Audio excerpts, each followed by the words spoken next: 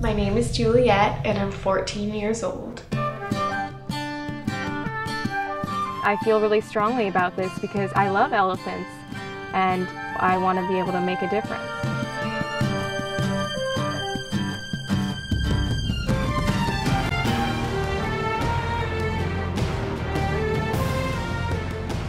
She started to tell me about how many elephants there used to be.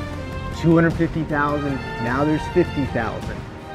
All these elephants have been taught as youngsters in an abusive way.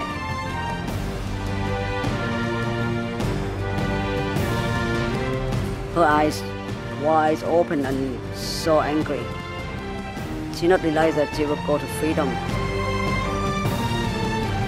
It's our fault that the elephants are going extinct, that we're losing so many of these beautiful creatures. And so humans need to start taking responsibility for the damage they've done.